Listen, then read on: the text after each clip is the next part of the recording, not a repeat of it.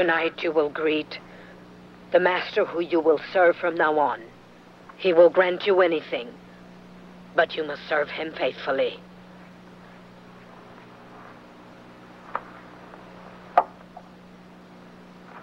He'll come for you in a while and take you to the Sabbat. There, our great Lord of Darkness will welcome you.